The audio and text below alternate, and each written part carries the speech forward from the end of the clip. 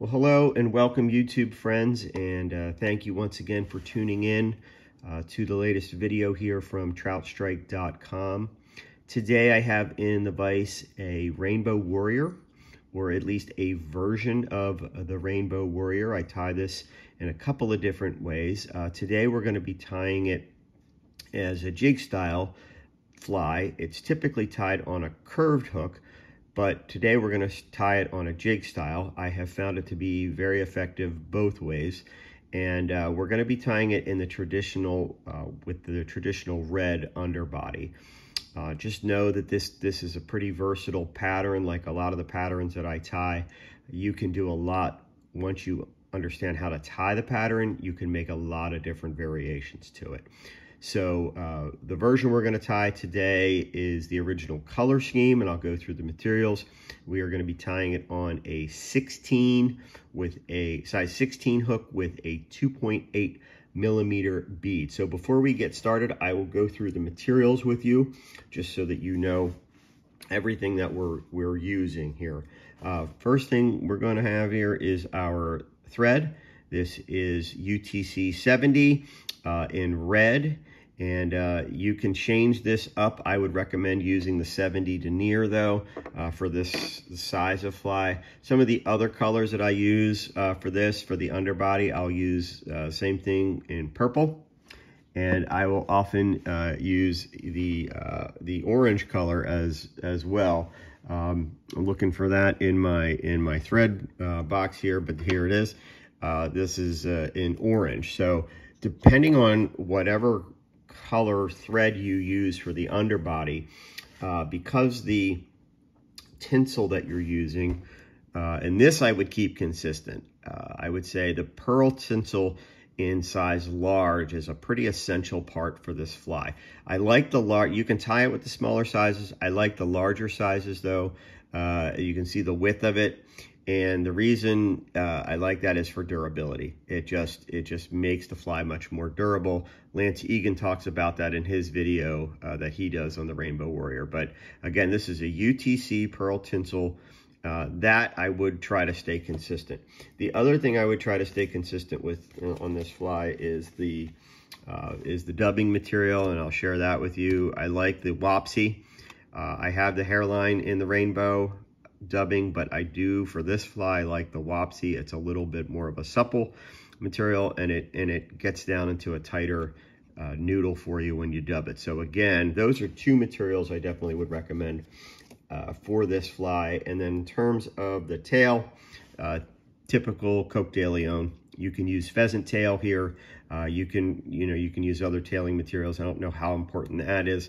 Uh, I think the original pattern used a pheasant tail, but I tend to use uh, Coq de Leon for uh, a lot of my flies in this style. So, all right, we're going to go ahead and, and, get started. I'm going to take this one out of the vise quick, and I'm going to going to get us started with a 16 jig style uh, competition hook. That means it's a barbless, a smooth smooth shank and, and barbless hook. These come out of uh, the fish's mouth real easy, and they also come out of your net real easy, uh, which is nice. They don't get tangled in there, especially if you have uh, a, a, rubber net. So first thing I'm going to do is just make sure I get my bead in there the right way. Um, that's one thing you want to just make sure. I'll show you the, the right way and the wrong way. So the, the slot of the bead, if you're using a slotted bead, uh, you want the smaller part of that slot uh, turned up. If you if you have the slot and it looks like that, uh, it's upside down. If you get to the end of the fly and you realize that you've tied it upside down, uh, don't worry, the trout will still eat your fly. But um, for uniformity and for them to line up right in your box, uh, try to get the bead on there, uh, the slotted bead the right way. So, and just pay attention to it as you're tying. So the first thing that we're gonna do is we're just gonna get some thread wraps uh, down the shank of the hook. And we're not going to put a lot of bulk in it. Uh, we're just going to flatten our thread and uh, and get down to the bend of the hook where we let that hang. Okay.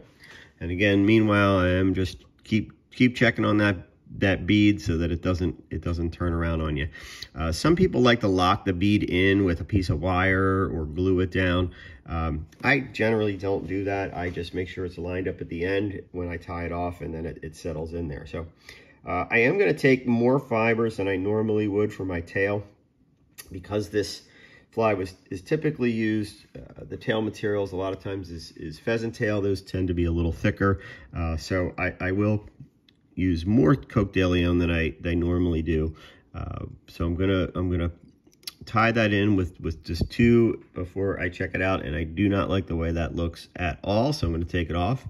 Um, I don't edit these, so um, if I make a mistake or I do something I don't like, uh, I just keep it in there because um, you probably make mistakes when you're tying and uh, as well and and that's okay. That's how we learn. So I'm gonna I'm gonna actually kind of start over.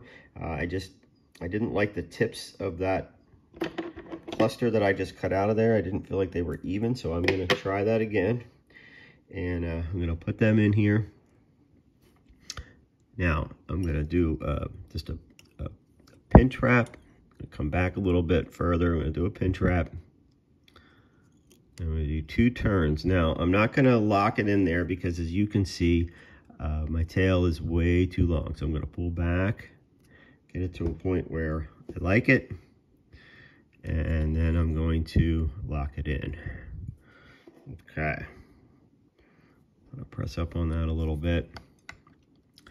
And I'm going to come all the way up to the bead. And as I like to do, Just make sure my bead is set properly. Got it flipped back now. And I like to get the Coq de Leon right in that bead. And that way it's very, very satisfying to come up and give it a nice even snip, just like that. Now for the next part, I'm gonna take the tinsel and I'll show you uh, how I, I, I cut that on an angle. So I'm going to just snip a piece off here and I'll show you. I like to cut it with a point so that I can put that point right in the bead. And if you take a look at that, see how I cut that uh, at a point. So I'll turn that over and I'm going to set that right into the slot of the bead. I'm going to come down I'll try that again. And I do apologize. I'm, I'm trying to tie again with the camera in front of me, which is a little bit awkward for me.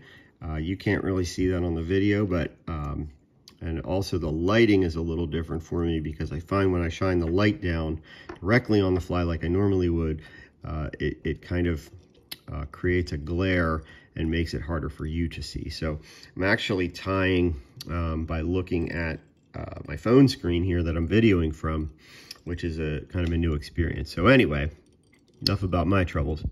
Uh, what you want to do now is you want to bring that, that red thread down and give a counterclockwise split, spin.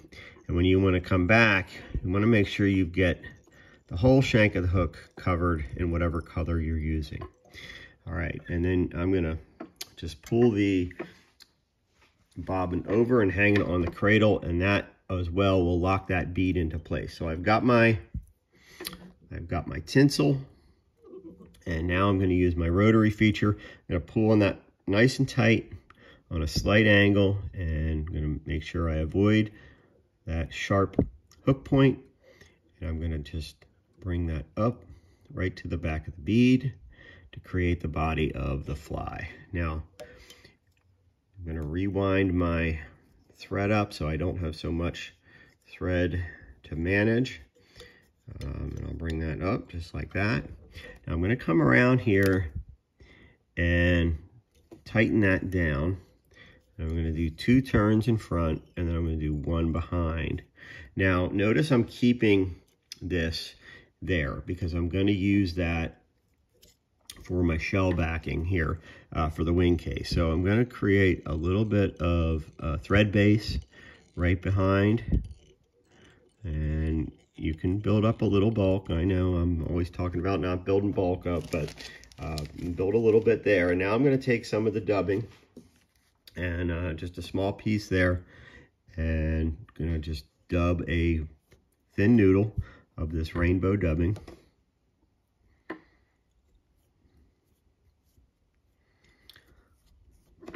And uh, I, I, will let this get a little bulkier than I, I normally would because I'm going to be bringing that I'm going to be bringing that tinsel back down over it, uh, which will kind of compress it a little bit. So, um, okay, I've got my noodle. I'm going to tighten up my thread. That's important. I try to manage as little thread as possible. And now I'm going to create my collar and I'm going to come right to the back of the bead. And now I'm going to take the tinsel and I'm going to pull that down I'm going to come over one time. I'm going to come around one more time, keeping tension on that thread. Now I'm going to peel that back. And I'm going to come one more time. Now here's a little uh, little tip that I learned when you're cutting off the tinsel. Do not just come in there with your scissors and clip it. Just take the point of your scissors and try to get as close as you can and just cut a tiny little bit and then pull it. And that will actually make it a little cleaner and you won't see the tag hanging out. All right, so the next thing uh, that I do want to do is I'm going to add, for durability, I'm going to add a little bit of UV resin onto my thread. Uh, that'll do two things. That's going to create uh, some durability. It's going to adhere uh, my knot, and it's also going to give my knot, uh, my red knot, a little bit of sheen to it. So I'm gonna go ahead now. One, two, three, four, and oh heck, we'll do five. We'll, we'll get crazy here. Do a five turn whip finish. And then uh, I'm gonna cut that off. And then the last step would just be to hit that with the uh, infinity light. And you can see how it's kind of buggy looking. Um, you know, you can leave it like that if you want. If you if those stray fibers really, really bother you, then um, go ahead and snip them. Notice how you really, they don't stand out until that light comes on and then you then you really see them. Uh, th those can be great. Um, you can leave them on there. You can trim them off. Uh, I'll trim them off just, just to make it pretty, but to be honest, uh, this fly might fish a little better with some of that buggy looking on it. But anyway, um, this is the, the Rainbow Warrior. Uh, tie it up, practice tying it with uh, some different colors underneath, uh, the orange, the purple. I've even done it in an olive or a green. Uh, it's a great fly. It, it works for wild fish, stocked fish, uh, really just, it's an attractor that uh, I think will work for you on most days out on the water. So again, thanks for watching. Make sure you get out and check out troutstrike.com and uh, I'll see you again soon. If you like the video, uh, give it a thumbs up and don't forget to subscribe. Have a great day and get out on the water.